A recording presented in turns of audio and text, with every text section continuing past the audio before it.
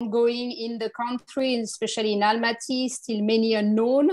So I think we need some modesty and humility in analyzing what is going on, but it's also very important to try to put together the different pieces of the puzzle that we have uh, uh, uh so far. And so for that, we have five uh, great speakers who will be able to give them, give us their, their, their vision of what has been happening and some kind of clue about how to interpret that. We wanted to have speakers directly from Kazakhstan, but as you may know, internet is not working or working only in the morning, Kazakh time. So there was no way to get them uh, uh at this kind of late evening uh, uh time uh, uh, currently. But our speakers will be able to share a lot with us today. So we will have first uh, Merkhat Sharipzhanov, is the Radio Free Europe, Radio Liberty Central Newsroom senior correspondent and former director of the Kazakh service. Then Temur Umarov, research consultant at Carnegie Moscow Center. Pauline Jones, professor of political science and director of the Digital Islamic Studies curriculum at the University of Michigan. Barbara Junisbai, associate professor at Pitzer College and Nargis Kassenova, Senior Fellow and Director at the Program on Central Asia at the Davis Center for Russian and Eurasian Studies at Harvard.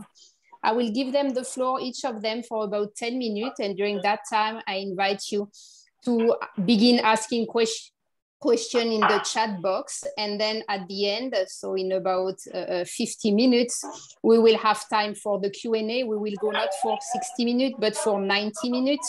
And so we should have about half an hour for a, uh, uh, discussion and I will be moder moderating uh, the Q&A session. Once again, welcome and Merkhat, the floor is yours. Thank you. Thank you. And I'm greeting everyone from Prague, Czech Republic. Um, Unfortunately, today's topic is not a very good one for myself personally because it's about my country, Kazakhstan. Uh, what happened last week uh, shocked everyone, of course, uh, even people who were by uh, their profession uh, following the events and developments there. We got used to uh, regular protests in Zhanaozen and oil regions in Kazakhstan, which happen from time to time, but we never expected that uh, this will lead to something that would happen. In the beginning, it looked like uh, the protests were uh, supported by other regions uh, close to the region, uh, close to Zhanaozen and further on. But gradually, uh, the, the protest was hijacked by unknown individuals uh, in very controversial statements, uh, President Kassym-Jomart Tokayev called them uh, terrorists, even international terrorists, giving the, the, the, number which is ridiculous for everyone, 20,000 international terrorists uh, operating under command of a single center attacked Almaty only. That's for, for anyone who is a, a grown-up person is uh, incredible to believe. As a person who served in the Soviet army, uh, for myself, 20,000 troops is impossible to believe, or whoever they are. Uh, for me personally, it looks like the some part of protesters, people who came from uh, the regions which are the poor regions, po impoverished regions, most likely some of the of the protesters might started this kind of violence, but I also believe that there were some groups organized by uh, the uh, government uh, controlled groups. And as it usually was during the Soviet time, the KGB organized um, provocations which, with a goal to discredit the protests where the, the, taxes of that kind were used here as well. Um, we also uh, can say that um, the uh, some kind of tug of war between uh, between Tokayev and other groups, I mean elite groups close to Nazarbayev, mm, most likely had taken place. The thing is that we know that Masimov, Karim Masimov, the closest, one of the closest uh, allies of Nazarbayev was arrested. He was the, uh, the chairman of KNB, uh, Committee for National Security. And uh, today we just learned that one of his closest associates, Azamat Ibraev, the colonel, was uh, found dead, most likely committed suicide. Um, uh, regional police chief in Jambil region also committed suicide, according to the reports. And uh, the officials confirmed that he died, but they didn't say how and what circumstances. Uh, I think many things coincided here. The um, protests erupted, the protests were hijacked, and then uh, the standoff between uh, Tokayev and Nazarbayev's people somehow uh, took place as well. And the question is why? Uh, where is Nazarbayev himself? Is he in a very um, uh, grave condition. That's why the, the his his uh, his uh, associates started trying to remove Tokayev. We still didn't see him. We don't know what happened to him. We don't know where he is. We know that his press secretary, Aidos Ukibay, said that he is uh, okay. He never left Kazakhstan and he calls all Kazakhstanis to uh, support Tokayev. So in this very situation, of course, uh, Russia used this opportunity and uh, some deal was made and uh, the, uh, the CSTO troops for the first time in the history of this organization were sent to Kazakhstan, which was a, admitted very in a very controversial way by many in Kazakhstan, of course. Many uh, compared with, with the intrusion of the Soviet troops, uh, Warsaw Pact troops to Czechoslovakia in 1968. Some uh, compared with situation in Belarus uh, and many other. We cannot say for sure what really is happening there because the information is very, very, uh, we lack, we lack the, the complete uh, information because among all these reports, uh, the statements like 20,000 uh, troops or, or, terrorists coming to Almaty only, you know, they don't give us any uh, ground to believe anything the government says. And uh, also, uh, we don't know if it, when, when, when they say Masimov is arrested, we just remember how uh, in 2005, the former mayor of Almaty, Zamanbek Nurkadilov, was found dead with two slugs in his heart and, and then one slug in his head, and it was pronounced as, as a suicide. So uh, to, to trust to whatever whatever the, the government says, it's very hard. Altynbek Sarsenbayev, who was killed in 2006 with his two uh, associates, the opposition figure. Also, uh, there were trials. Uh, one person was sentenced as an organizer, and then it turned out he was has nothing to do with it, with this. And then Rahat Aliyev, presidential son-in-law, was pronounced as a suspect, and he was found dead in the Austrian jail. And all this, you know, that don't don't give any grounds to believe whatever the government is now saying. And of course, uh, in today's uh, during today's session of the CSTO member states uh, officials, when uh, when Vladimir Putin and uh, Tokayev again reiterated there was a international terrorist group, international like external forces attack to Kazakhstan were sounded sounded completely groundless for for for, for many who who knows Kazakhstan and who who who uh, follows the the developments there. The most important thing, of course, is that everything is under control now, and uh, we'll see what's going to happen. And uh, if Tokayev is still in power, uh, I think he will try to get rid of uh, Nazarbayev's people to the end. That's my thinking. And uh, uh, most hopefully, he will probably start some some reforms he promised. Uh, that's the only thing I can tell for right now. Wonderful. That, Thank you so much, Merkhat, for kind of launching the, the, the, discussion. As I said, the knowledge we have can only be very partial and, and fragmented. So I think it's giving us a good idea on how to begin the discussion. And I now would like to give the floor to Temur. Thank you very much. Um, and uh, thank you to Merkhat for uh, this great introduction. Um, I also want to say that uh, we really have not much of uh, information right now to make any conclusions. Uh, but uh, from we already see, um, considering all of the um, internet disconnections and blockages in Kazakhstan. I see that um, um, the official um, official statements that are made right now, um, I, I, don't think that they have uh, objective behind them. Uh, because uh, when we listen to Tokayev and uh, all of the state media and um, expert, some expert communities, um, uh, they all say right now that um, it was a planned, uh, organized uh, terrorist attack uh, with the with the goal uh, to make a coup to uh, take take Tokayev down. But for me, there are many um, you know holes in this theory. first of all.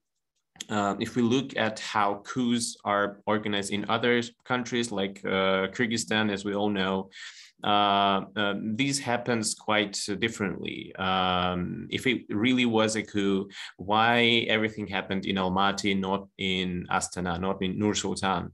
Why uh, protesters chaotically destroyed uh, just infrastructure, roads, uh, cars, uh, mm, supermarkets. Um, it, it, doesn't look like, uh, you know, very organized group of people who have one particular goal. Uh, for me, uh, it, it, was really a protest that went too far um, and went very, very radical. Um, and the main reason for that is um, that uh, why the government didn't expect it uh, is that uh, government just lost uh, sense of uh, what uh, society um, thinks about the government what is the level of support um, in the society. And this miscommunication led to this unexpected um, uh, situation. Um, and um, now we see that uh, President Tokayev uses um, this uh, very uh, dangerous uh, situation uh, in his own favor, um, as it looks from um, from not inside but outside of Kazakhstan. But again, we shouldn't forget that apart from his consolidation of power, apart from him right now becoming more influential player in inside Kazakhstan, there are also uh, very big um, um, risks for him. Uh, first of all, let's not forget that uh, Tokayev is um, uh, was put uh, to his uh, current position by President Nazarbayev, who is very unpopular, um, as it seems right now. So uh, um, it uh, it is not uh, true that uh, people uh, will forget that uh, Tokayev uh, is associated with uh, Nazarbayev, or if he gets rid of Nazarbayev and his people from the government, the people will be okay with that. people still think that he um, is a part of the system, um, and mm, it's not just enough to uh, you know, get rid of um, Nazarbayev as a head of um, Security Council. Uh, there also should be uh, other steps uh, taken. And during the protests, we heard um, uh, people saying that uh, they need new elections uh, and new political reforms. And I think this is what people will be demanding um, in the future. Um, another uh, risk for Tokayev's uh, position um, in Kazakhstan's political future um, is that right now he uh, relies uh, on Moscow much more than um, he used to, and much more than Nazarbayev used to. Um, I mean, Kazakhstan for years has been known as this uh, you know, very good example of uh, multivectoral foreign policy. Kazakhstan was always uh, a place where um, all Russia, China, and the Western uh, countries could find a middle ground, could uh, work together, and it was not a you know a country where um, the balance between those three main mm, geopolitical actors was um, in a big conflict. Uh, Kazakhstan always um, uh, managed to uh, balance between those. But now, uh, when Tokayev asked CSTO, and obviously for everyone, CSTO is a Russian-led organization. We cannot say that um, CSTO is a um, um, you know, an organization where all of the parties have uh, similar uh, power. Um, Tokayev will uh, owe Moscow his uh, legitimacy, his uh, position. And this will, of course, uh, mean that Moscow will have um, much more influence on not, not only foreign policy of uh, Kazakhstan in the future, but also um, in um, domestic affairs. Um, and for Kazakhstan's future, um, I think it means that uh, we will in the nearest future see uh, some uh, very similar uh, political moves um, that we saw in Russia after protests, that we saw in Belarus after 2020, uh, we will see a lot of uh, new uh, cases against um, activists that were uh, seen during the protest. I will not be surprised if we will see, uh, um, you know, any new laws against NGOs, uh, against independent media. this will will not be surprising for me. Um, I will stop here and we'll be happy to answer any questions. I, I see we have a lot of them. Thank you so much, uh, Temur, for your comments. And I'm now giving the floor uh, um, to Pauline.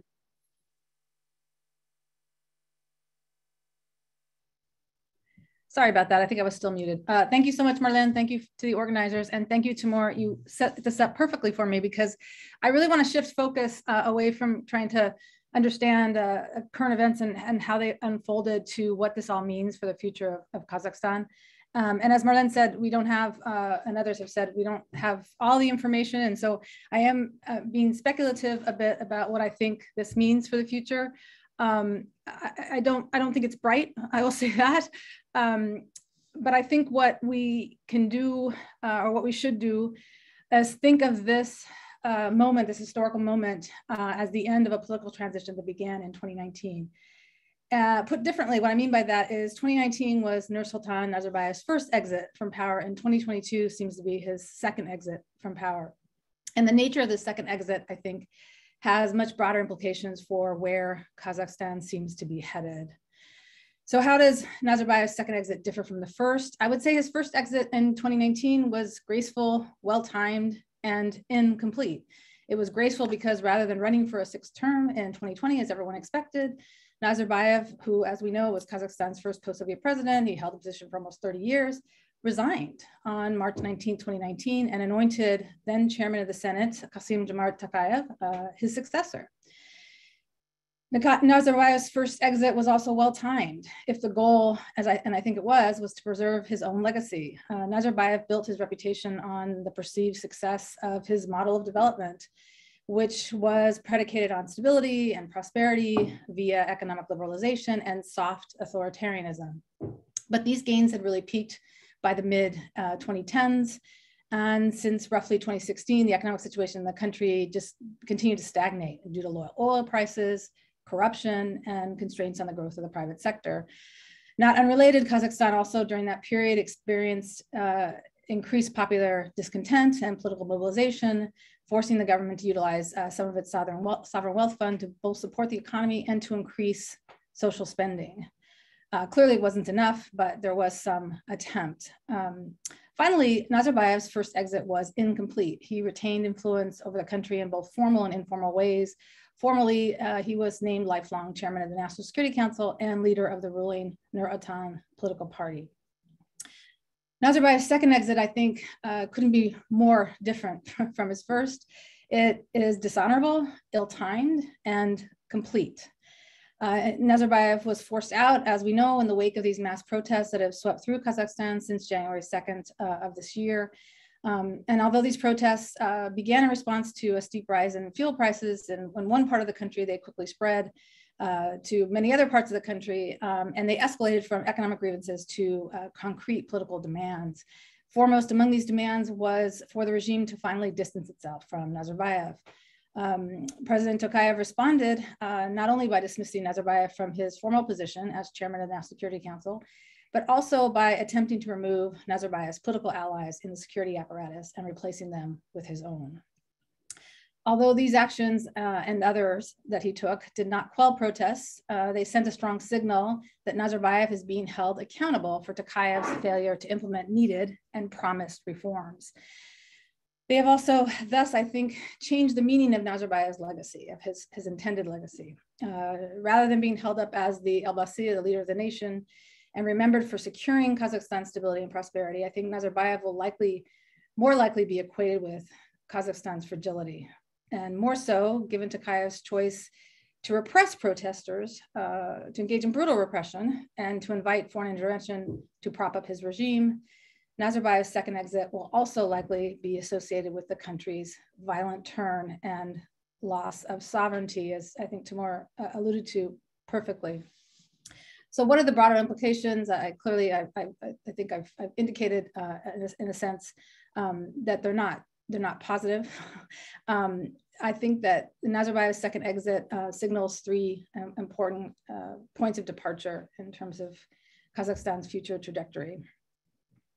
The first is an end to soft authoritarianism. Um, Tokayev has clearly, I think, taken uh, the country in a more repressive direction his decision to move swiftly to violent suppression of the protests and then order shoot to kill has opened the door to use to the use of state violence as a tool of regime stability. Um, this is not to say that the previous regime never used violent repression. Of course they did, and then there's a, a, an acute example um, in the in the very town um, where the January 22 protest started, Zhanaozen, um, in Western Kazakhstan um, that in, in, 2011 police fired on and killed protesters. Uh, so I'm, I'm not uh, suggesting that the, the re former regime was not capable of this.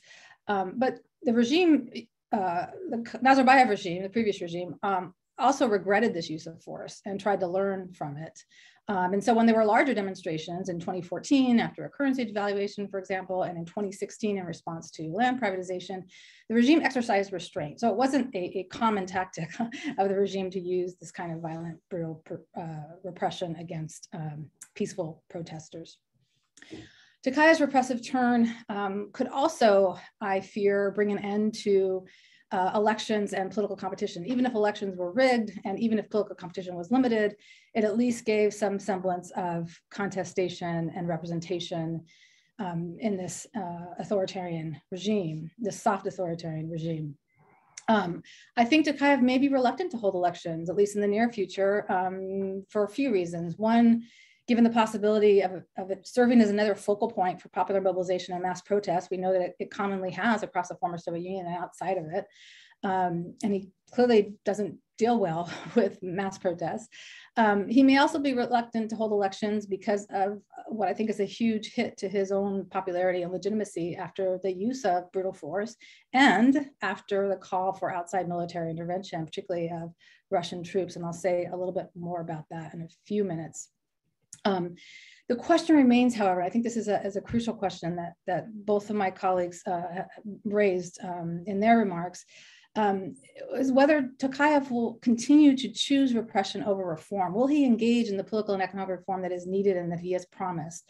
Um, will he take um, the protesters' demands seriously? Uh, you know, calling them terrorists and, and, and um, sort of dismissing them as, as being um, uh, orchestrated by, by foreign interests um, you know, it's a tactic, but is it something that he's internalized to the extent that um, he's going to continue to choose repression rather than to engage um, these, at least the initial protests as, uh, uh, as legitimate um, uh, calls for uh, political and economic reform? And if he chooses reform, then he could possibly restore some of his popularity and legitimacy, which would make him more willing to hold elections in the future and allow some, uh, at least some semblance of political competition. So it remains to be seen. The second key point of departure, I think, is uh, again something Temur mentioned: the end of uh, a multi-vector foreign policy. Um, as as Temur said, um, Nazarbayev had, had played a, really um, a, a expert uh, sort of balancing act among uh, different um, actors. Um, he remained friendly towards Russia, um, but he also maintained really good relations with the West so that he could court Western leaders as well as energy companies. Tokayev's actions, I think, bring Kazakhstan further away from the West and closer not only to Russia, but also to China. Um, this is not just a move or a turn toward more oppressive, repressive authoritarianism and away from soft authoritarianism, but I think it's also clearly a turn toward authoritarian solidarity with Russia and China. Um, by taking Kazakhstan's authoritarian regime in the direction of greater repression, I think it's now uh, in lockstep with these two major authoritarian players uh, in the region um, who have always wanted more uh, influence in, in Kazakhstan. Um, Russia has physical you know, boots on the ground, and of course, this has serious implications both for the short and the long term. Even if the even if the intervention is only short term, it has uh, implications for popular discontent, uh, and thus for future popular mobilization. It also has, again, Temur mentioned this, um, it has implications for Tokayev's loyalty to Putin and thus for future key decisions, key decisions that are about foreign policy and domestic policy. Tokayev's harsh response to protests was also explicitly embraced by the president of China. So we know that there's some support there, not just his, um, his violent suppression of the, the protests themselves, but his invitation uh, to uh, the Russian uh, intervention finally, I think the third key point of departure uh, is this is the end, it seems, of Kazakhstan's global image of stability, prosperity, and perhaps most importantly, sovereignty. Uh, this is an image that Nazarbayev very carefully, very expertly cultivated. And um, it was a, a, an image that was important both for international and domestic audiences because it helped secure the regime's legitimacy both at home and abroad. And so I think what this has meant internationally is a loss of credibility, at least in the West. It's also a strong signal to the West, as well as to other states in the post-Soviet region, that Russia will not hesitate to intervene in what it considers its sphere of influence. Domestically, I think the Russian troops can definitely cause a nationalist backlash. This is what I was referring to earlier about uh, popular mobilization in response to this, this decision to allow foreign intervention. Um, it also uh, domestically um, this, this can lead to a perceived loss of sovereignty, which is going to affect the regime's legitimacy, as I mentioned earlier, and thus possibly uh, the continuation of this repressive uh, authoritarian trajectory that Tokayev seems to have taken the country in. Thank you very much. Um, and I'll end there and wait for questions. Thank you so much, Pauline, for these great comments. Let's now give the floor to, to Barbara. Good morning, everyone. Can you hear me? Yeah, wonderful. Um, uh, it's a pleasure for me to be here, and I did want to uh, acknowledge and give my recognition to those of you who are from Kazakhstan and have family and friends there. I know this is a really difficult time. Um, so my ex-husband and my youngest are in Almaty, and uh, I hadn't spoken to them for a week, and it was terrifying. So my heart goes out to all of you who have family and friends there. Um, I would like to, um, many of my comments are will be repetitious, I think, of what others have already said. Um, but I'd like to think about this, acknowledging that we have very limited information. We come with our earlier frameworks, you know, how we see Kazakhstan based on our research and our understanding of the country um, and our disciplines. Uh, I would like to divide up how I, I'll, I'll share how I think about it in terms of different levels of analysis. So first, I would like to acknowledge the protesters. Um, and, and my comments are also based on some conversations I had yesterday in the more early morning and in the evening with folks who are in Almaty. And I'm going to focus mostly on what happened in that city. Um, so let me show some photographs really quickly. Oops.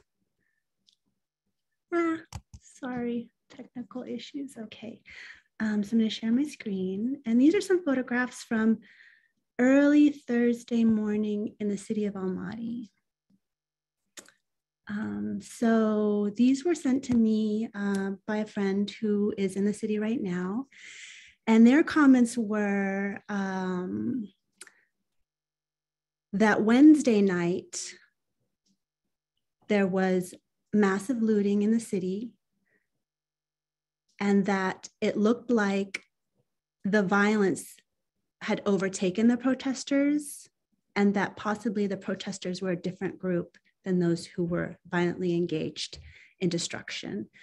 Um, it also looked to my friend that there was no military and no police around Wednesday evening, which I would like to return to in my narrative.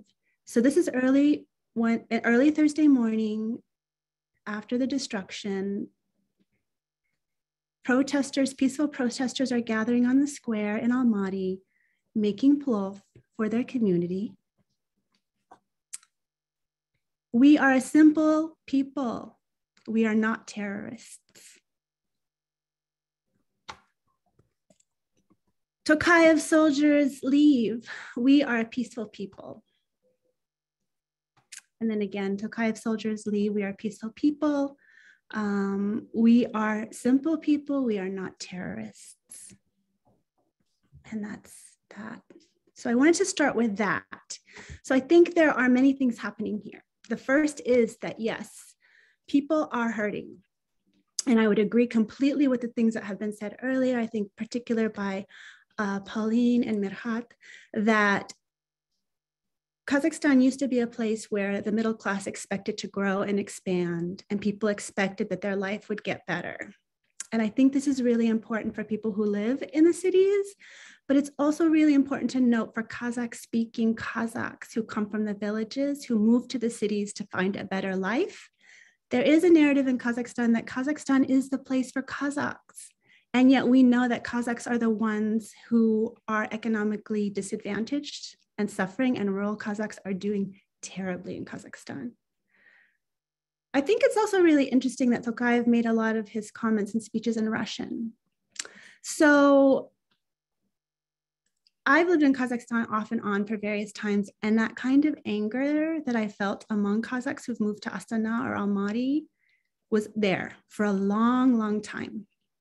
So I, and then there's, you know, people who, like in the, you know, up to the mid 2000s, they expected that their life would get better. People would all have cars. That's why gas is so important because everybody has a car. People thought that their children would live better and they haven't, right? There's been a decline, global decline, right? In the United States, we're not immune to this either.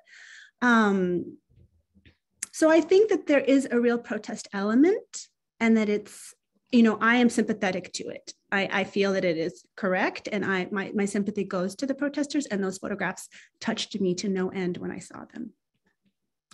I think there's also, it's also true in Kazakhstan, and this is what a lot of my research has been on, is that there's infighting in that regime. We can't think about it as a consolidated monolithic system. And I think Pauline said it so beautifully in regards to foreign policy, and Merkhat said so beautifully in regards to the regime. I think both of you used the term balancing act. Nazarbayev was not only excellent at balancing foreign policy, he was excellent at balancing all of these different elite groupings. He did not always succeed we know this from different kinds of elites who've gone into the opposition. But for me, the most important element here is, and I'm speculating, I don't have evidence. I'm going to say what I think based on what I've studied. I feel that a lot of this has to do with the Nazarbayev family. So, so interesting that in a BBC interview that uh, former Prime Minister Akizhan Kazhegeldin gave just yesterday, I think, in the morning, um, he said, and the journalist pushed him, but he said, Almaty is the city of Nazarbayev's family. Nothing happens there without their permission. And I thought about it, and I um, have studied how Nazarbayev's family has caused a lot of infighting within the elite and has been a, so, a weak spot for President Nazarbayev. So I asked my one of my friends who's in Almaty about this possibility, and they said, I walked in the streets on Wednesday night and there was rioting and looting and it was chaos and I saw no police and I saw no military. Then on Thursday morning, all the rioters were gone. The peaceful protesters were back and there was still nobody. There was no military, there was no one. That person also said that the buildings were not protected and that the airport was not protected. And that is why the destruction was allowed to happen. And it brought me back to the conversation to the interview with Akishan Gelsin. And I was, I was thinking there could be a connection there. And I don't have evidence for it to be so. But it is very strange that at the time when the writing happened, there was no protection and that that protection came later. And that Kazakhstan is, is in some ways could be considered like a weak state, but in other ways it's not. I have been to protests earlier in earlier times in Kazakhstan, and the police presence and the military presence and the what is it called the OMON presence was tangible, even in the most peaceful protests. So it is very strange to me that in this case of chaos and violence, that they would not also be there. Um, so I think there's a lot of things happening here. Uh, it could be that the protests occurred and they were widespread across the country. And um, perhaps people, not Nazarbayev himself, but people close to him, including perhaps his family members, like they may have used that as an opportunity to, to um, stake their claim more forcefully and more powerfully to try to undermine President Tokayev. And it could have backfired.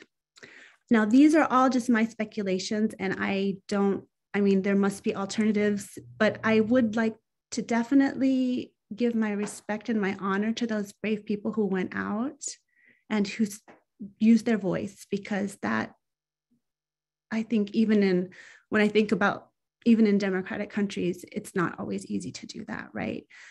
But i think some other things are happening too and i think it will become clearer what those fissures are in the government um, and the fact that masimov you know um, was arrested and the other cases that folks had given examples of also i think supports this idea that there are multiple levels of things happening and that the state is trying to use it to its tokayev is trying to use it to his advantage. Um, and then my last comment is about terrorism. I think terrorism is a really interesting it's a very convenient blanket because you can say people on the streets are terrorists and inside the government, there have been infiltrations of terrorists. And then you can take care of both problems at the same time uh, under one umbrella. And then you can invite Russia, right? Because they're also afraid of terrorists. And then you can get sympathy from abroad because everybody is, when it comes to the word terrorism, everyone wants is fighting against it.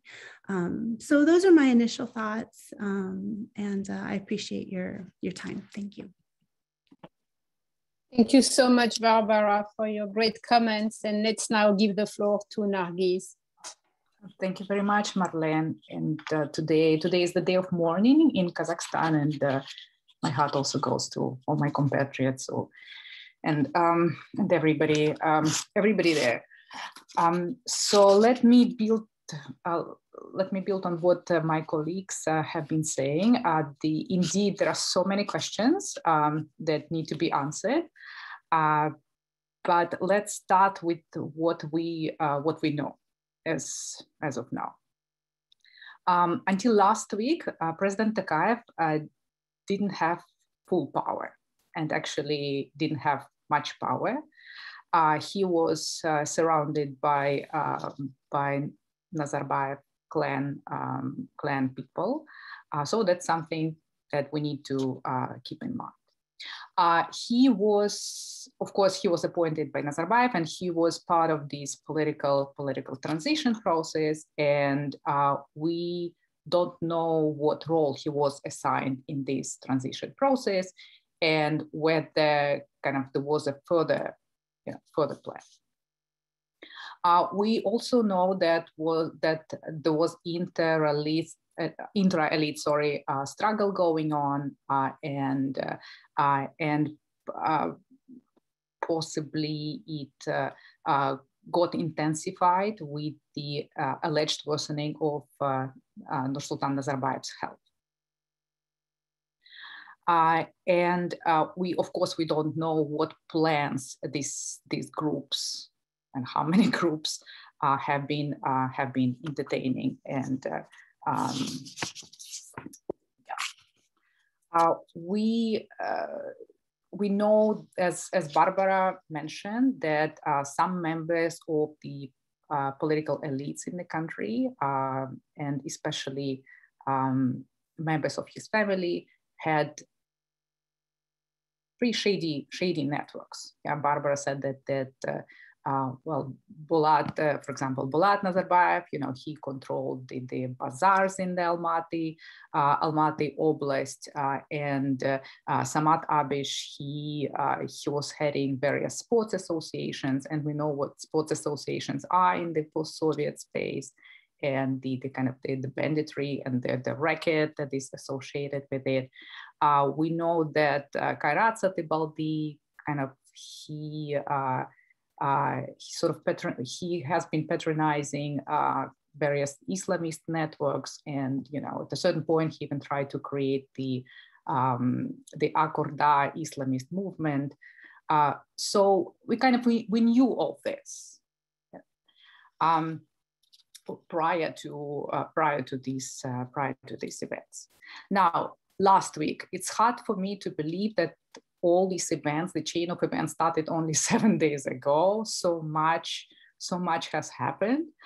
Uh, but uh, indeed, the it's the kind of the, it all started with protests that spread like fire from, from Western Kazakhstan across the country. And uh, uh, the uh, uh and the, the kind of the causes where all these grievances that have been uh, have been accumulating, uh, socioeconomic uh, uh grievances, also uh, the kind of uh, disappointment with the with the government and with the mismanagement and corruption and and all of that.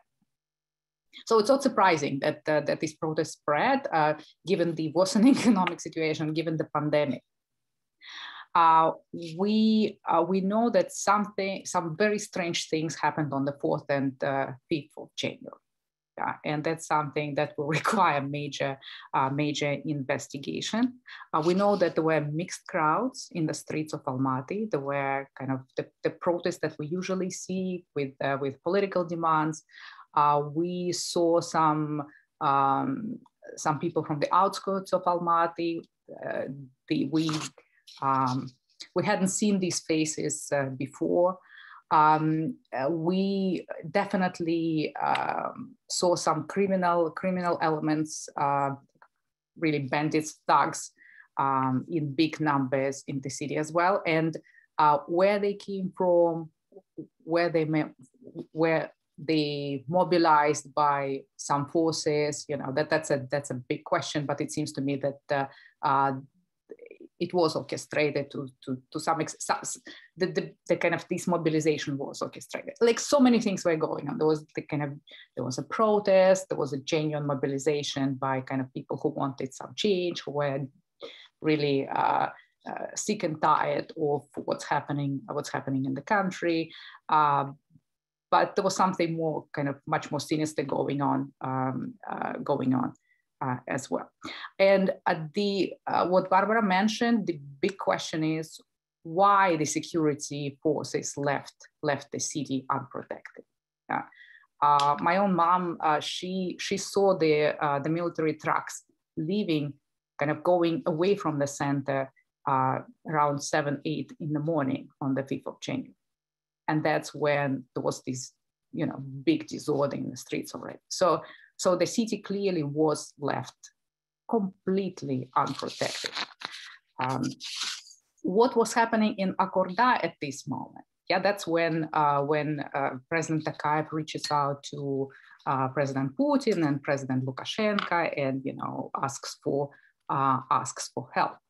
Um, so, and I think it sort of does make sense to me that you know if he didn't have much control with security uh, security forces, then you know uh, inviting CSTO might have been the only uh, the only choice he had uh, he had at the time no matter how tragic this decision is and how much it affect uh, kind of affects the damages the reputation of uh, uh, of the country as a sovereign um, sovereign state um, on the 6th, the, the security, the, the security, the military um, came back. That that's after you know the the CSTO um, kind of decision uh, well, the decision was ma made by the CSTO to send uh, to send peacekeepers, right, to deal with the external terrorist uh, external terrorist act. And here, uh, my take on it is that uh, the kind of invoking uh, invoking kind of this terrorist external terrorist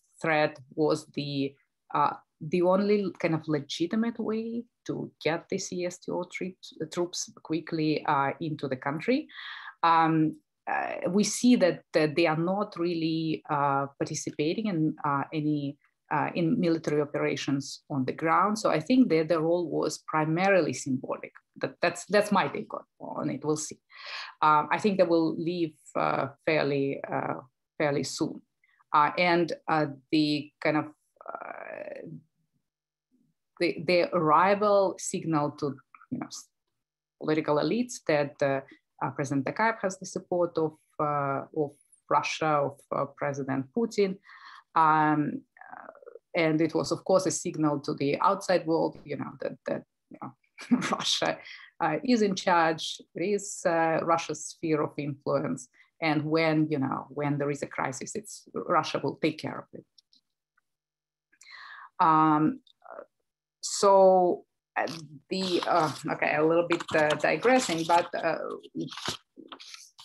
um, I, I think the kind of they had to do it they had to say that it was an external external uh, terrorist attack for political expediency uh, but not with regard to protesters but more kind of to get the the uh, to get the excuse the kind of legitimate reasons to bring to bring um, Russian support um, so, and already we see the changing, kind of changing narrative. Um, uh, well, the new state secretary, Yerlan Karin, for example, he gave an interview, um, I guess today, uh, today in Kazakhstan to, to Vlast KZ.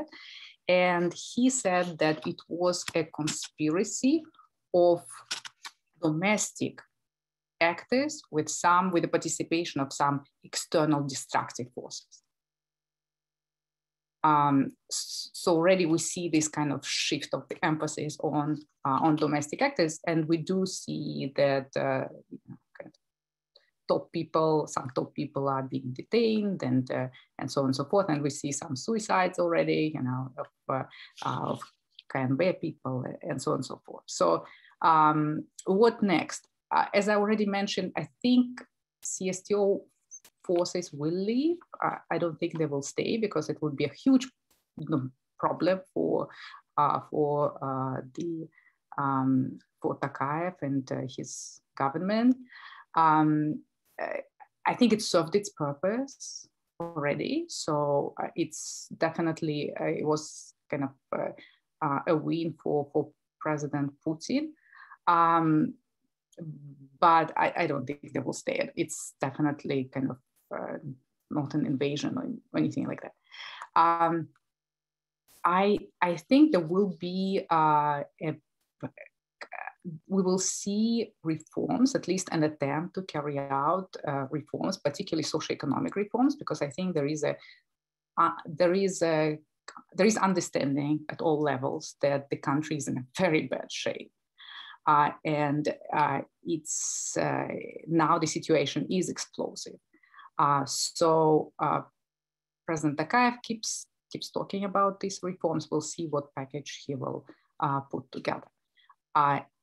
And if the most kind of the most predatory elite members are removed from the system, maybe there is a chance. And if the good people are put uh, uh, put in charge of the reforms, then maybe we do have a chance, and maybe then the uh, kind of all the loss, the losses and the trauma of last week will not be in, in vain.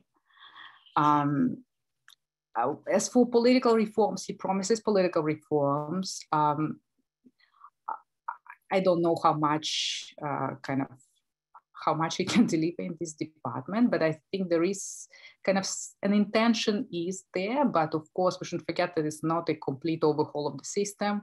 We're not dealing with the revolution.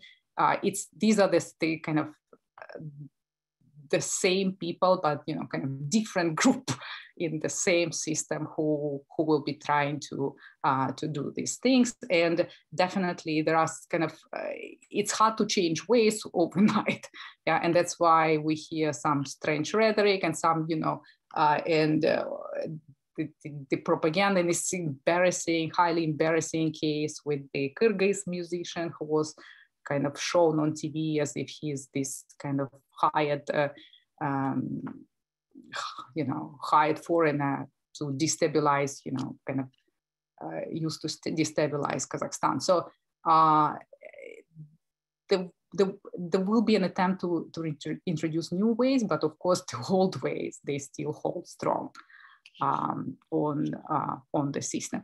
And for me, the kind of the most worrying, kind of what, what really worries me uh, today is to think how the kind of development of the political system proceed from now on. Uh, whether the you know political elites will be able to find some kind of equilibrium that is you know good for the country for the stability of the country uh, or not the latest events showed that uh, the um, well the later the, the kind of the past decade shows that uh, um, our, our, elites are not in the best shape. Our political elites definitely. Uh, um, we're not thinking of the public interest of the national interest. So I do hope that people kind of more public interest minded, more national interest minded uh, will kind of, you know, will come, uh, will come up and uh, uh, and we'll see. So the the there is a lot of worry, but also some hope uh, that uh, that I think we we have now. Thank you. Wonderful. Thank you so much, Nargis, for also these great comments. I mean, all of you were really great in bringing together very different pieces and trying to be very reasonable and cautious about what we know, what we think we know, what we are just speculating, what we are interpreting. So I wanted to really thank you all for, for, for this uh, great presentation. We now have time for a question, and as you may have seen, there are like just ton of them in the in the chat box. So I will try to kind of uh, uh, summarize the key ones and try to put them together in kind of a thematical package. Maybe we can begin with the, the foreign policy aspect and then move back to the, the domestic aspect you already all of you mentioned several of these elements and Nargis uh, uh, especially a lot of question coming in the chat about Russia's motivation. So far, the CSTO never accepted a request. It's the first time that the CSTO is indeed replying positively to a request. So why, in that case, Moscow felt that he had to intervene. Some people are asking was that a kind of conspiracy, like Russia knew something would happen and was participating, or how can we uh, uh, discuss the, the, the, perception also from the Russian side, and of course question about Russia's positioning in the uh, China, sorry, positioning and much more cautious, of course, and, and how we can interpret that. Pauline was mentioning that Kazakhstan is kind of moving even more than before to the Russia-China fall. But if we could have some of uh, the speakers' comments on both Russia's motivation to intervene and then China's position would be great. And then maybe after we can move uh, back to the domestic field. Which of you would like to, to take these two questions on Russia and China? Me? Okay, go ahead. Yeah, go please. Ahead. So, sorry, uh, I think I interrupted Merkhat. Um, okay, I'm going to take a Russia and China question. Uh, I think that uh, uh Russia's and China's relations uh, in uh, Central Asia and the uh, so-called competition between Russia and China in Central Asia was a little bit um, over exaggerated um, in in the informational sphere, um, and I think that uh, what happened um, in Kazakhstan and what happened earlier in Tajikistan with regard to Afghanistan shows us that uh, Russia and China cooperate more in Central Asia than uh, than uh, compete actually. Uh, for China, uh, number one priority in Central Asia is stability. And right now, China doesn't care whether the stability will be reached in Kazakhstan with Kazakh's own uh, internal forces or Russia, which is a very good uh, China's partner, will come and make the situation stable. Uh, China doesn't need to have um, a very, you know, hectic, unprecedented, unpredictable uh, country on its border with uh, Xinjiang uh, Uyghur uh, Autonomous Region, which is a very, you know, um, very sensitive uh, um, region for from the point of view of Beijing. Um, so um, I think that uh, China is totally okay with um, um, Russia's uh, position um, in Central Asia, and it will not take any uh, real actions uh, towards it. I quite agree with that, and I just wanted to add that in this situation, if you noticed, uh, Kyrgyzstan, which sent just a small number of, uh, of troops there, uh, in the beginning was hesitating to do it. There was some uh, parliament members, uh, you know, not willingly coming to this session and stuff. But Putin made them send troops there anyway. It seems to me that for Putin it's very important that CSTO is one and even symbolic symbolic participation is important. And it might be uh, a very good tactic, so very good idea for Putin today, especially when we're talking about the uh, escalation of tension uh, along the Ukrainian border. If Russia, which is now being discussed, uh, even today there was a discussions between uh, Biden and Putin about, about Ukraine. If Russia starts uh, military operations against Ukraine, it will be not Russia, but several countries fighting against, against Ukraine. That might be uh, easily an issue because Russia helped Tokayev, and now Tokayev, as a member of the CSTO, has to help Russia. Uh, other CSTO member states took part in this operation in Kazakhstan. Now they're supposed to take part in any other operations Russia is leading. So that's very important here. And as for Chinese, uh, as for Chinese uh, thing, I just want to remind you that Kazakhs have a very interesting, uh, very useful uh, saying, saying that uh, joldas bolsan, uh, ay baltan değer bolsun. If you have a Russian friend, have your military acts ready. But they also have another proverb saying, Arakhtay kaptasa, sarı Orus aken If mass of Chinese come, Red Russian will be like your father.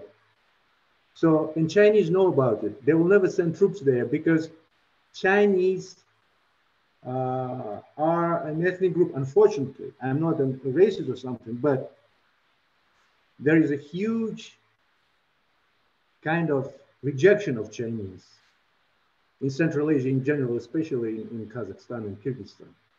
People don't like Chinese. There were so many protests against Chinese and stuff historically. And Chinese, they know it. They don't need to enter there. They, they need stability, and, and agree with that.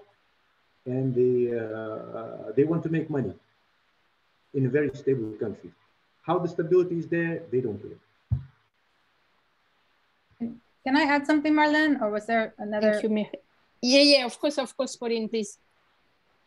Thank you. Um, I just want to say, I, I, just to the question of why Russia was so quick to, to support the intervention, um, albeit through the CSTO, um, and, and some might want to compare it to, to Kyrgyzstan and um, why you know Russia wasn't uh, willing to intervene um, last October. Um, I think that uh, the stakes are just much higher. I, I think it's kind of clear. they're higher in, in terms of you know the instability in Kazakhstan because it is such a big, important economy because of its oil wealth um, because of its border, its very long border with Russia and with China, uh, as my colleagues mentioned, and, and then just demographically, the fact that there are you know, a sizable Russian population. So I think the stakes are just much higher. Um, made the, the decision much easier. Thanks, nice. Pauline. Nice. Barbara, nice. would you like to add something on that? No, just go. Go ahead. Yes. No. Yes. Uh, I think the, the cost benefit analysis was different in case of Kazakhstan, right, compared to Kyrgyzstan and Armenia, um, because the costs, you know, um, the costs were not that high actually, right? Well, sending 2,000, you know, troops, it's not a, such a big deal, especially if uh, you don't think they will be in harm's way, you know. So uh, I think kind of the, there was understanding that uh, uh, Kaz Kazakh uh, forces can manage the situation, right? Uh, and indeed, that's what we see. They are kind of not engaged uh, in military activities. These are Kazakh forces um, that are managing the situation. Yeah. and that would have been very different if Russian soldiers were sent to, to deal with the interethnic conflict in southern, southern Kyrgyzstan, right? Um, or if they were sent on the uh, Armenian Azerbaijani border. But the benefits were very big. So I think they kind of they, they made an assessment. Uh, and I think they were convinced by President Tokayev that the situation is very serious, right? So, um, uh, so yeah, that's that that's how it happened quickly. And it's interesting to to read the uh, Lukashenko's President Lukashenko, Lukashenko's account of uh, of this um, of these talks. As usual, he's the most you know, outspoken. Thank you all. Let yeah, um, yeah. Let's now move. There is another series of questions. Maybe this time also on the kind of the the, the Russian intervention, but seen from from the outside from the inside, sorry, of Kazakhstan. One question about so the how can we speculate on the motivation for Tokayev to call Russia for help? Nargis mentioned maybe the the the impression that he wouldn't be able to uh, uh, control what was happening with the, the, the intra elite. So, as a way to showcase that he had the support of Russia and not the other part of the elite. So, would be interesting to get the feedback of other speakers if they have. And also, a question we have about the population reaction toward that presence of, of Russia and what it means symbolically in terms of uh, symbolic sovereignty especially know, toward the, the Kazakh speaking part of the population. So how do you think the regime will be then able to balance this kind of symbolic uh, uh, loss of, of uh, sovereignty, especially toward the, the Kazakh speaking part of the population. And then we will move back, to, move more to regimes and protest uh, gradually with the next round of questions. Who would like to take this kind of uh, two questions? I can start if um, no one else wants.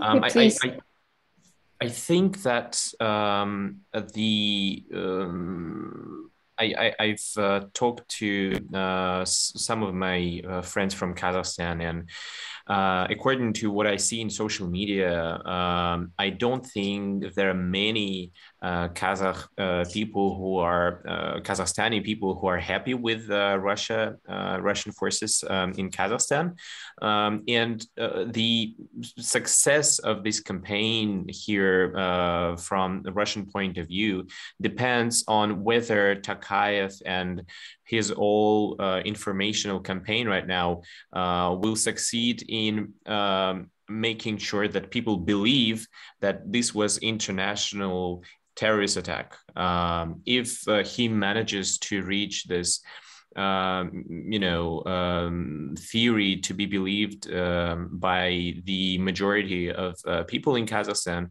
I think people uh, will understand that uh, this was something that Tokayev had to do. He had to uh, call to Moscow for help because it was a very, very serious case, and uh, Kazakhstan's own forces didn't have enough capacity to fight um, international terrorism.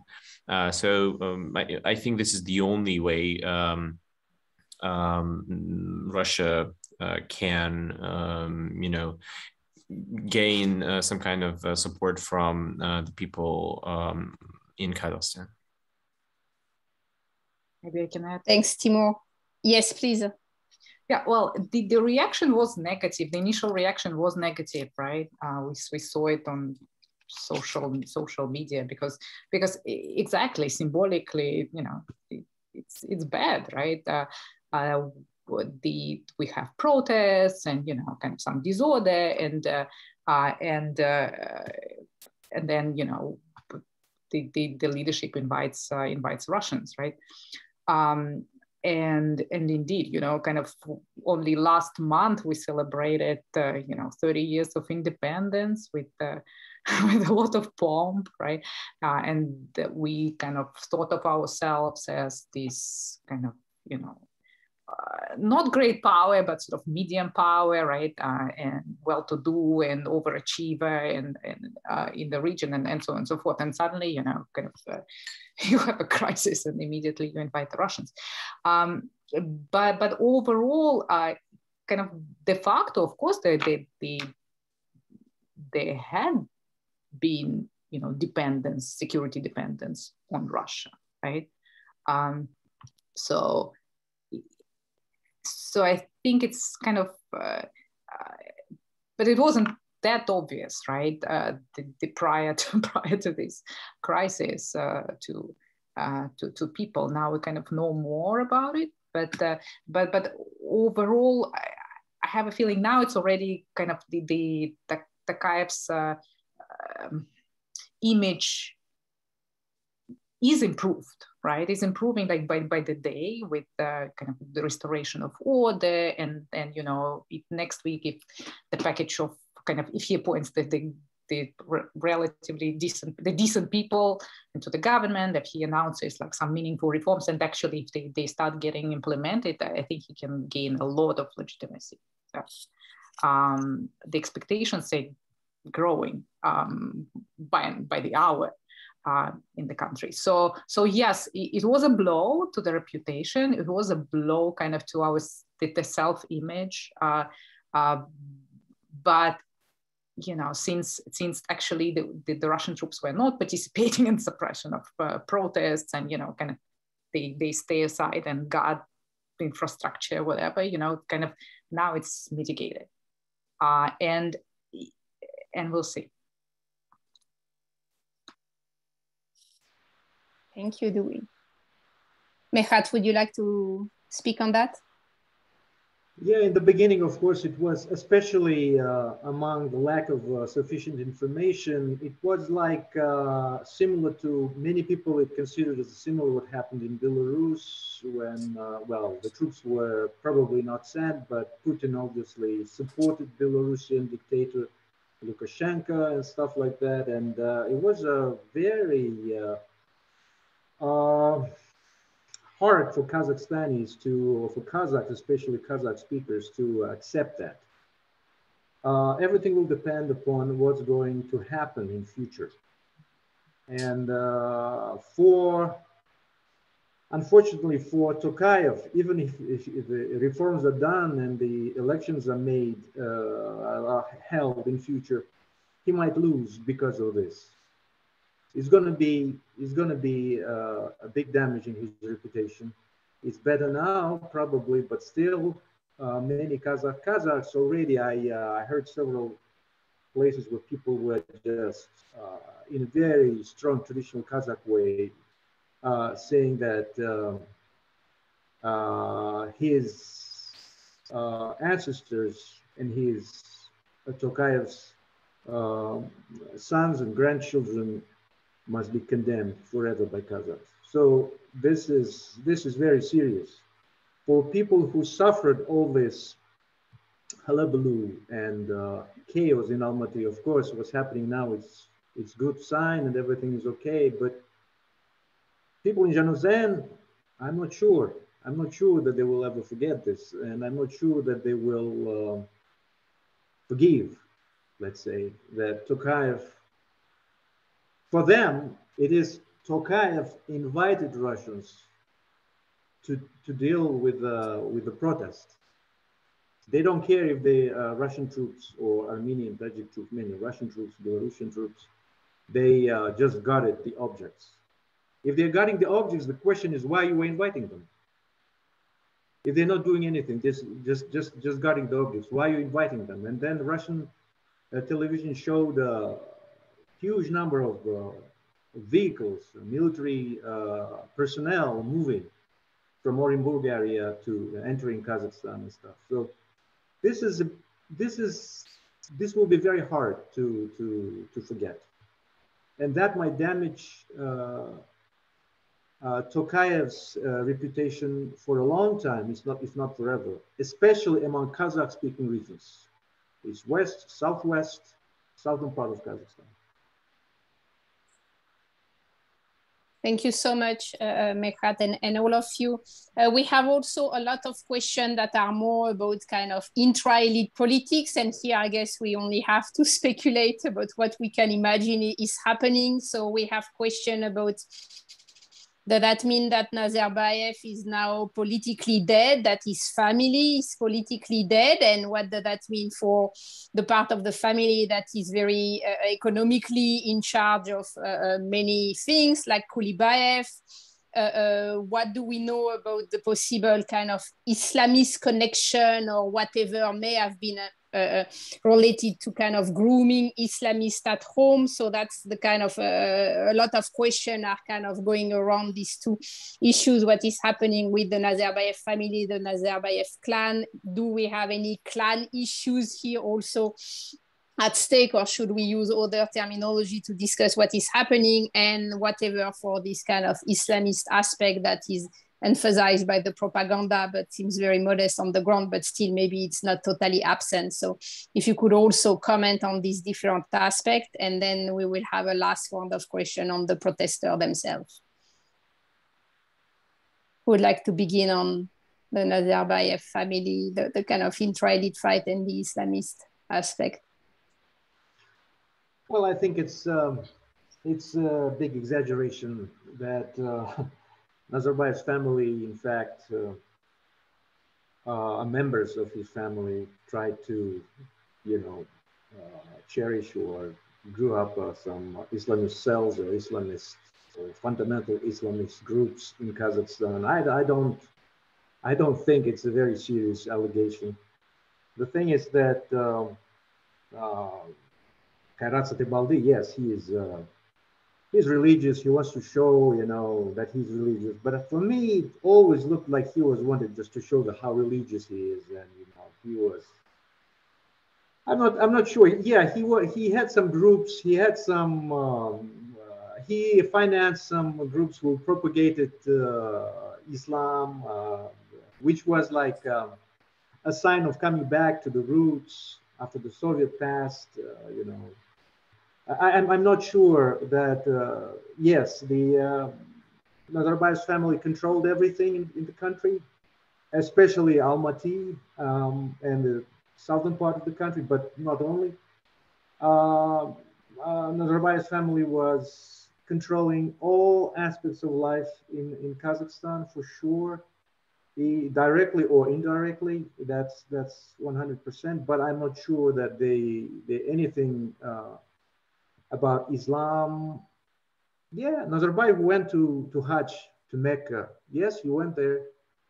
Uh, you know, uh, he his family members went there too.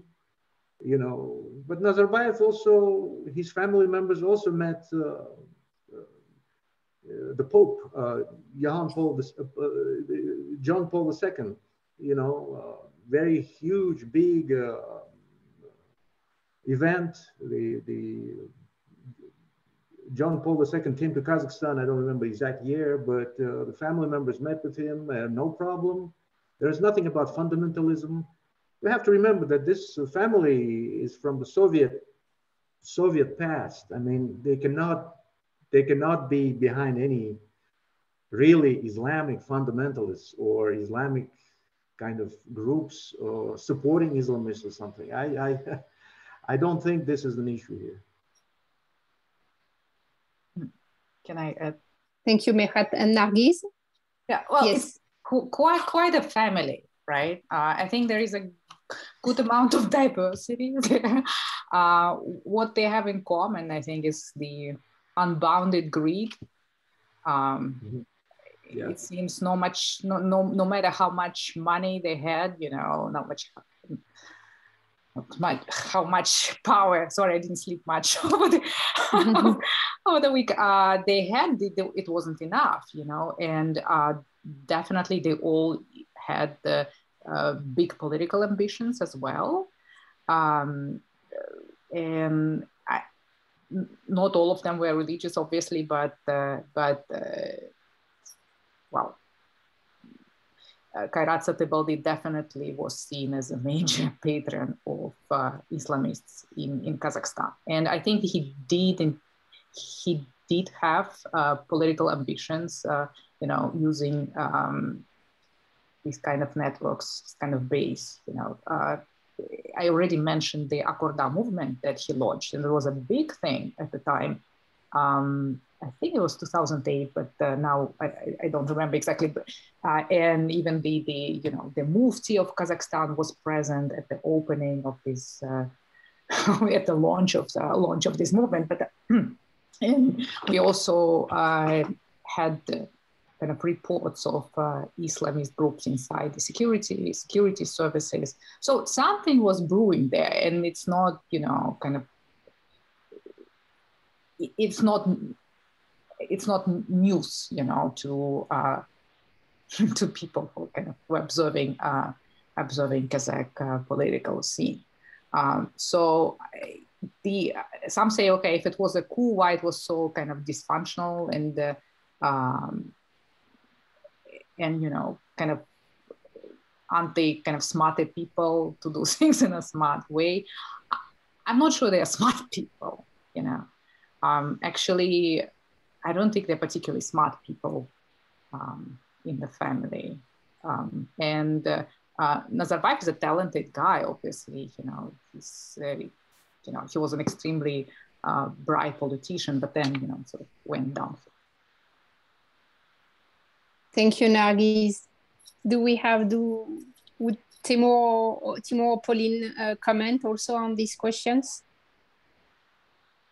Sure, I'll just say a couple of things quickly. Um, I, I, I, think uh, Nargis uh, alluded to this in her earlier remarks. Um, the best case scenario for Tokayev is to get the Nazarbayev family out. Um, when I said the second exit was complete, I meant complete from him himself, um, his family, of course, I think there are some lingering, uh, obviously some lingering aspects there, but um, I think Tokayev is going to do everything he can um, and use whatever uh, legitimacy he can rebuild with the uh, the elite to um, to literally cleanse the country of Nazarbayev's informal influence. He's already formally uh, done much of that.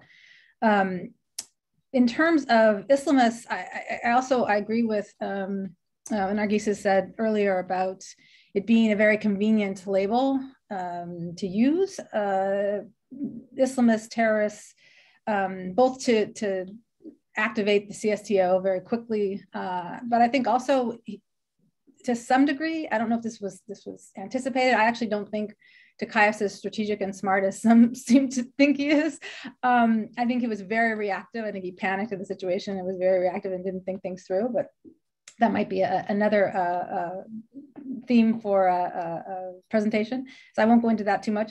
But I think that you know he uses these labels conveniently um, to also uh, legitimize himself um, internationally with you know sort of why this is happening, and then domestically. I think if he can convince people that it really was um, these foreign terrorists who hijacked the, these peaceful protesters, that they're to blame and not and not him. So. Can I add one thing, like 30 seconds? Yeah. Marlene. Of course. I, I, think, yeah, uh, actually it was already mentioned that, that the, uh, the, the family and, you know, kind of the, the, the clan, they con control a, a lot of assets, uh, a lot of assets in the country. Uh, and I think it'll be kind of, we'll understand a lot when we see what, what's going to happen to these assets. Mm -hmm.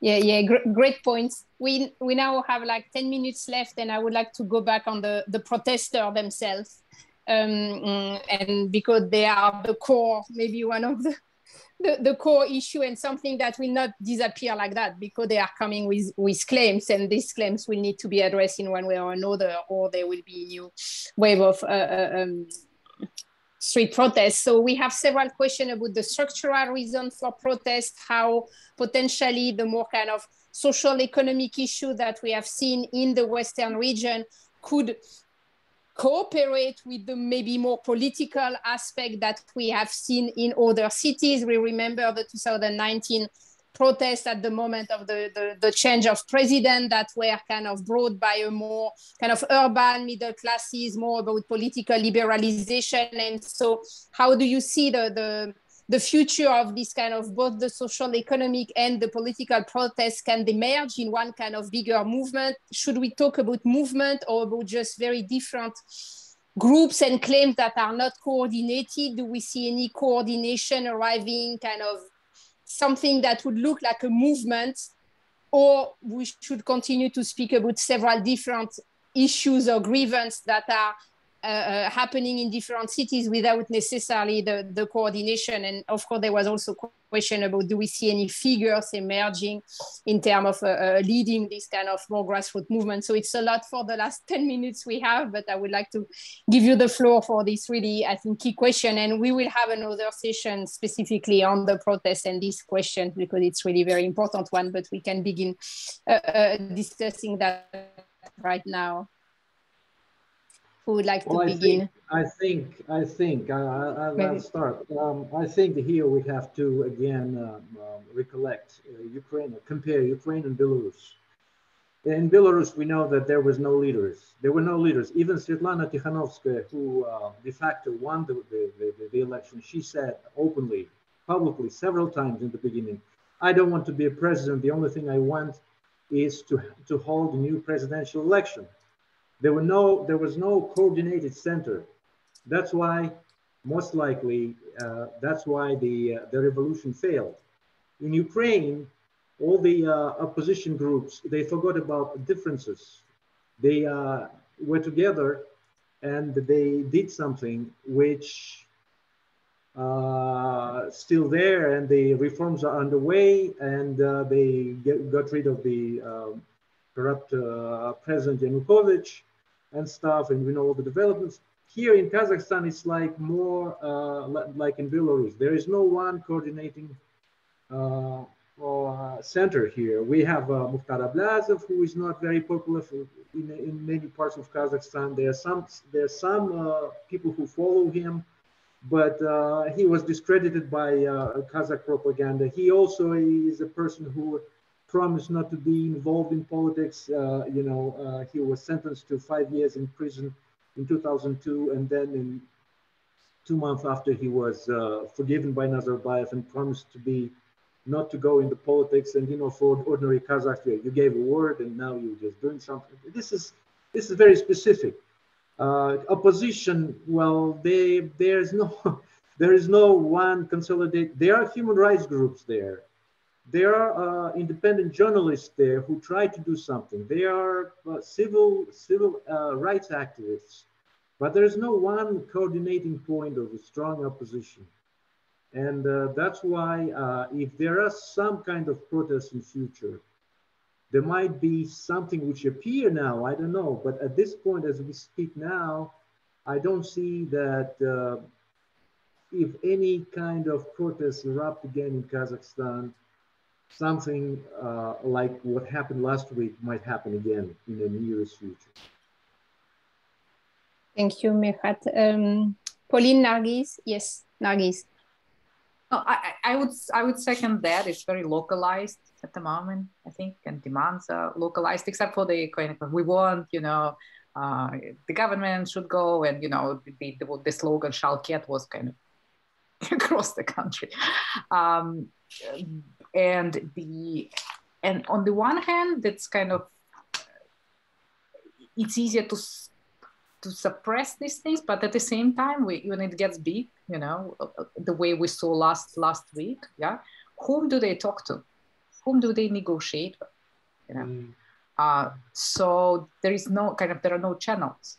And i think they are uh, kind of you hear that from some you know top level people and some deputies uh, that okay we, we, we do need to create something we do need some some political reforms and you know kind of uh, you know uh, um, create the channels for for communication so but but we'll see it mm-hmm. it, it will take time because it was so purged you know, the, the field that, that it will take time for grass to grass and flowers to grow. Uh, but I think now things are happening so fast that I will not be surprised if within the year we'll have a different situation. Thank you. Timo, would you like to add something? Yeah, I was. Uh, I want just to conclude by saying that um, uh, Kazakhstan uh, will, uh, you know, continue to be a um, object of our interest for the nearest future.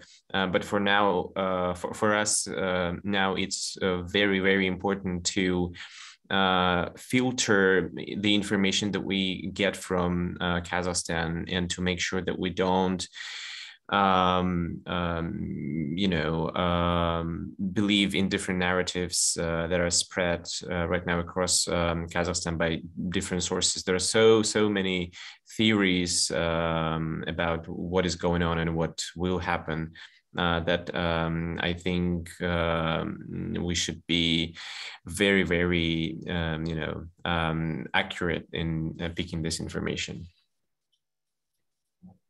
Yeah, that's a great point, Timo. Thank you. Uh, Pauline, would you like to add something and conclude?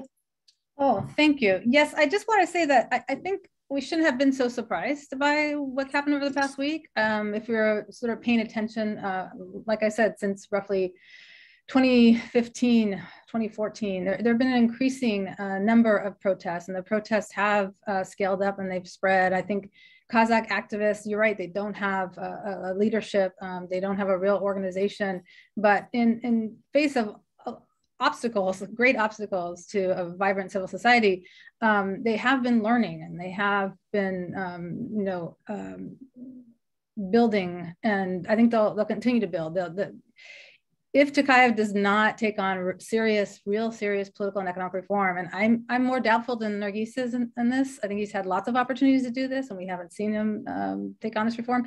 But if he if he fails to do that, we will see uh, future uprisings, and particularly around election time. Um, so that's why I'm looking at 2023, where local elections supposed to be held, in 2024, the presidential elections, to see what happens. Great. Well, I think on that we will be able to conclude. It has been really wonderful, and I wanted to thank you, all of you, for for giving us your, your comments and all of you trying to stay very uh, uh, modest in what we know. And as Timo was saying, how we have to filter information and also be careful about the lenses we are using to interpret what is happening. So thank you everybody thank you all of the 500 people we had with us today for the very lively discussion, uh, uh, a lot of yeah, uh, warm feelings and to all those of you who have close families and friends and colleagues in, in, in Kazakhstan. And we will be reconvening probably in a few days, early next week for other events, hopefully with our Kazakh friends based in Kazakhstan once internet will be able to be totally restored. So once again, thank you uh, uh, to all of you and hope to be uh, continuing our discussion very soon. Thank you. Bye-bye. Thank you very Bye. much. Thank you.